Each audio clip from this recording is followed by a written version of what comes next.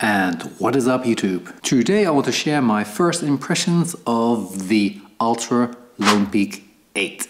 If I'm not mistaken, this is like the 12th version of the Lone Peak. They used to have like half versions come out every couple of years and they kind of cut that since version 5. So I've had the 5, the 6, the 7 and now the 8. But they've also had various other versions like the all-weather or other water-resistant versions in the past. They have hiking boots, they have like urban walking shoes. So I've kind of lost count how many kind of versions there are. But don't let the name fool you and I hate it when other YouTubers say that this is the 8th version because it's not. But then again, it doesn't really matter matter. Anyway, Lone Peak 8, they sent this patch to me for testing and review. So far I've only done about 20 kilometers in them, so this is really not a full review. This is simply a first impressions because I do know that some people do enjoy watching those. And hell, I like making them. When I saw images of them a few months ago, I was kind of surprised because I didn't see that much change compared to the predecessor. On the one hand, I'm happy about that because I did like the 7 compared to the 5 and the 6. And now it really just feels like they're releasing a new version just for the hell of it. But there are a few minor to the 8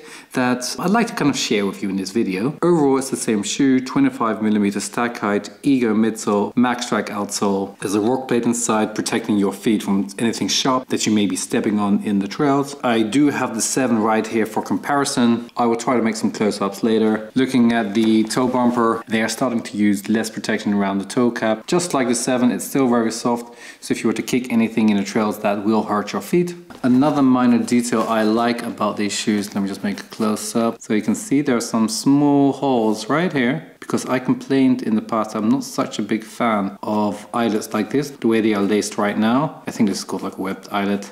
I'm not very happy with that. The only reasons why I know they have things like this is that there's less pressure of the lace on the top of your foot. But somebody also once told me that there's also more friction. I'm personally not a fan of that because uh, I have a hard time tying and untying my shoes because of that. So on this side, I've actually now decided to, I'm gonna just gonna use those extra holes. So they've punctured two holes in those webbed eyelets. You can see around here. And I'm just gonna see if there's actually any noticeable difference. One thing that I am expecting is that it's gonna be easier to tie and untie. Anyway, that's just a small minor detail. There really is not much difference between the seven, at least in Europe they've lowered the price by 10 euros, which I think is pretty awesome. So just under 50 euros right now, which I think is a really decent price for a trail running shoe. Another slight improvement compared to the 7 is the pull tab. It is like a few millimeters bigger, so it's just very easy to stick your finger through and pull them on. Same goes for the pull tab up here on the tongue. It's a soft material and easy to pull the tongue up. It are really just the details in the shoe that they've changed. Also a slight change, they've added a little bit more material of the Velcro back here. You need to wear a gaiter in the trails, really just a few millimeters, not much. The upper material feels very similar to the previous version, maybe slightly tougher, hopefully with improved durability because I do know that Altra has been suffering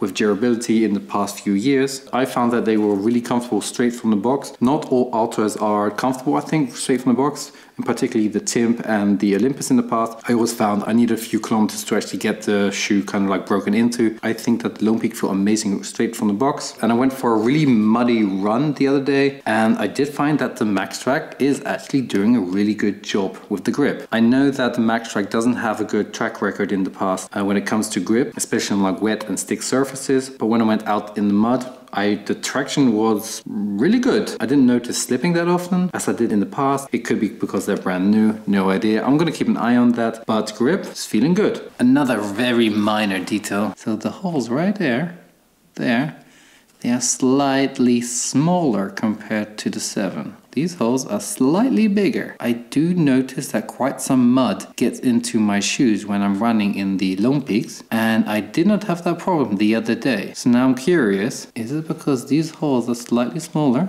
I don't know. Maybe it's because of the upper. I don't know. If you've been following my channel for a little bit longer, you know that the Lone Peak is not my favorite trail running shoe out there. The Lone Peak has been like a fan favorite for years. I think in Europe, the Olympus is slightly more popular. And I honestly don't have too much trust in the Ego midsole really lasting that long. In previous versions, I would always feel that the midsole would kind of feel flat after like 250 kilometers. Not something that I've noticed with the 7 so far. And with the 8s, I would just have to see how far they come. You can really twist them quite well, despite the rock plate inside.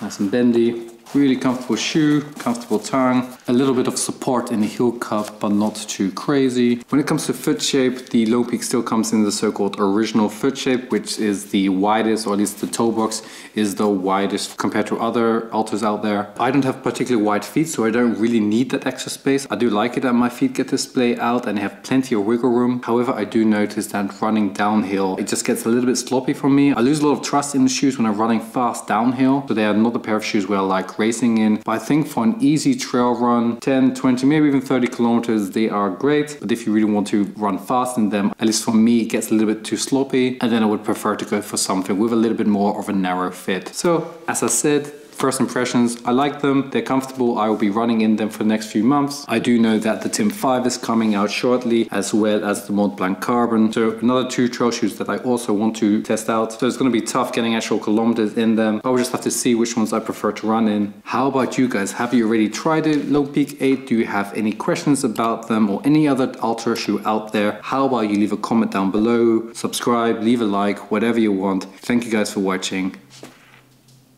and see you guys next time. Bye.